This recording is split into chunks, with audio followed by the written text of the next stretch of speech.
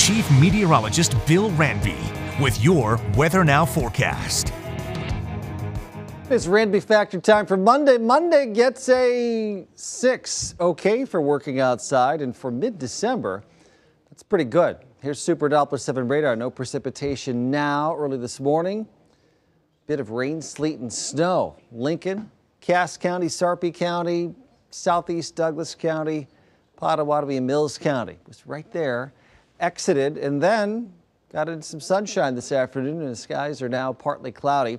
And as this little disturbance has moved on out, it's otherwise very quiet here across the nation's midsection.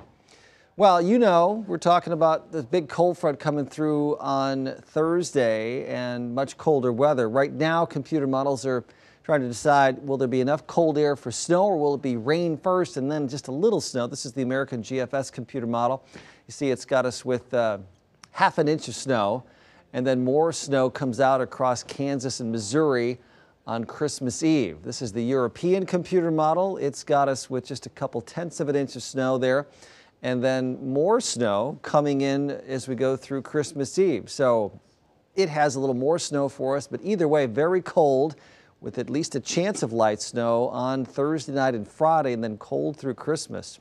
Meantime, a very mild start to the week here. Temperatures reaching the 50s tomorrow.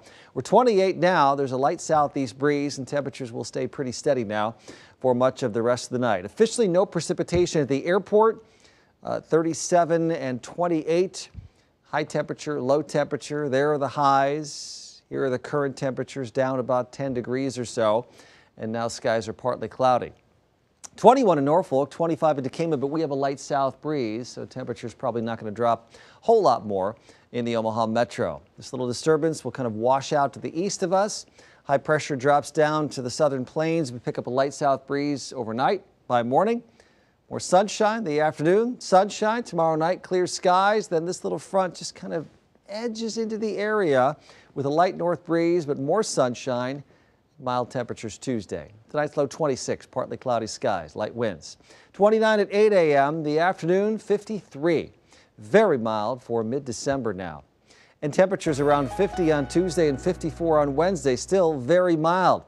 Front comes in here on Thursday. We could start with some rain or showers in the early morning or drizzle, changing over to perhaps some sleet or snow in the afternoon as temperatures fall on Thursday, cold Friday, Saturday, and the possibility of some more light snow into Sunday.